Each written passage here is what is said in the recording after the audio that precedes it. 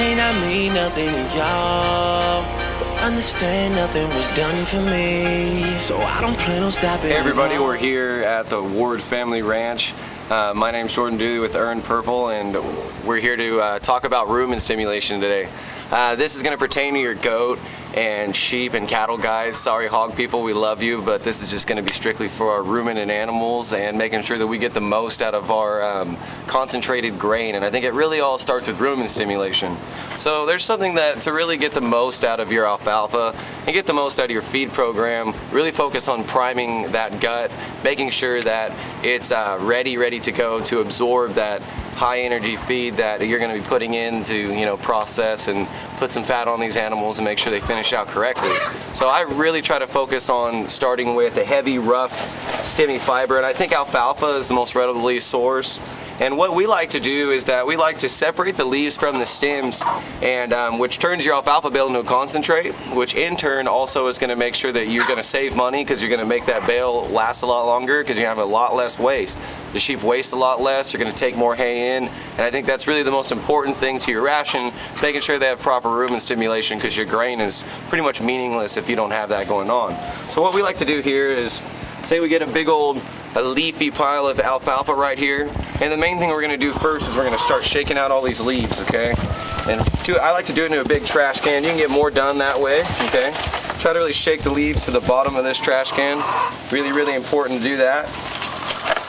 Because the main thing is, is you can give these leaves uh, later with your grain, but you first want to scratch that gut up and spark the microvilli and the papillae stimulation. Really, really important for these animals to get a good scratch in their gut to make sure that they um, have their own microbial profile. They make their own um, probiotic per se, and I think that that's the difference between ruminants and all other animals is that they chew their cud, so they need a rough, stemmy source of fiber to really prime their gut to absorb other high concentrates.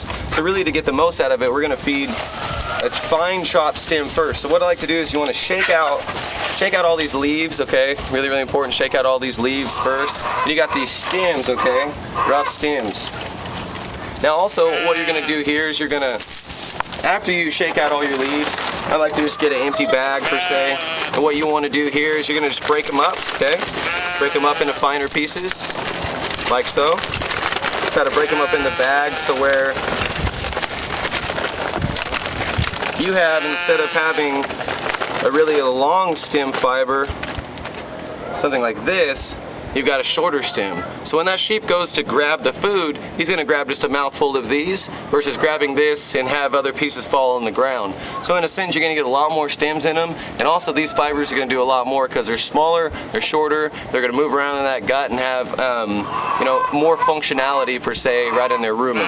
So first what you're gonna do is you're gonna crush all those up, okay? Make them into something where it looks like this now, okay? And what you want to do with your stems, you want to feed these stems about 30 minutes, 15 to 30 minutes before you give your grain and your leaves. Because this is going to prime that gut to just open up that rib, scratch that rumen, and make sure that it, it really starts the whole functionality aspect of their digestional tract. Their whole system needs to be started with this rough stemmy fiber. And honestly guys, if you if you do this um, and really just put your leaves in your feed, so you have, have your stems right here, okay? Then at the bottom of your barrel, this is where all your, let's say like energy source, your leaves and things like that. Okay, your leaves are your real energy source, your alfalfa. I mean, if you're feeding a high quality 18%, 4% or above fat uh, textured ration, you're gonna have enough energy as itself. So the really the main aspect about the alfalfa is to make sure you get the rough stemmy fiber in them. And I, and I readily recommend, Whitney and I definitely both do, recommend um, getting these stems in them before the grain and before the leaves. To say, if you're painting a house, you wanna make sure you get a good primer on the walls first so the paint will stick. That's the aspect of the stems in the diet of these ruminants and really to get the most out of your grain and to make these sheep more practical and to really cut cost in a sense of every aspect. Concentrating this alfalfa and turning it into a stem leaf type of type of way of feeding is way more efficient, way more practical. So again guys, shake those leaves out, okay? Give these stems, you know, about 30 minutes before, you know, you can break them up so they don't waste as much. Make sure they eat all these stems, then you can give them their grain, their leaves, a little bit of water, liquid supplement per se, everything after they've eaten their stems. Really important to rumen stimulation and it's really gonna get more bang for your buck and more out of a bag of feed. So in reality, guys, thanks. Hopefully we helped you a little bit about rumen stimulation today. And if you have any questions, feel free to give us a call. Peace. Have a wonderful day.